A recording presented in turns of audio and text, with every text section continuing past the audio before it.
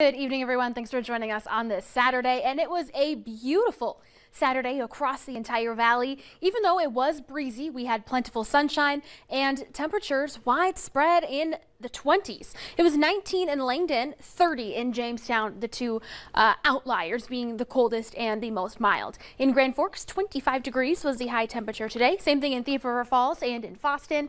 29 was the high temperature today here in Fargo. Right now in Fargo, 14 degrees and our wind has definitely calmed down over the last few hours. Out of the west southwest now, only 3 miles per hour. And in Grand Forks, 13 degrees. Wind is out of the west northwest at 7 miles per hour currently feels like 3 degrees. Temperatures across the entire valley have now fallen into the teens, still holding on to 20 degrees in Jamestown. We're at 15 in Baudette, 13 in Bemidji, 14 in Detroit Lakes and in Oakes as well.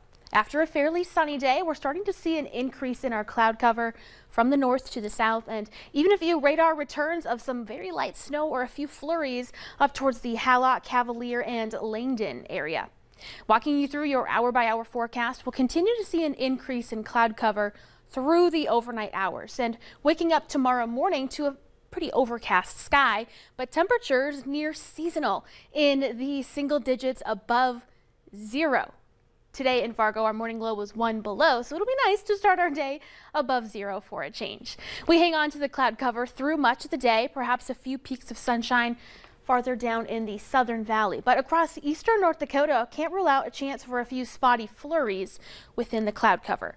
Temperatures in the afternoon will be fairly steady in the teens across the north, 20s across the south before our next chance of some snow moves in. This is by 8.50 for your Sunday evening.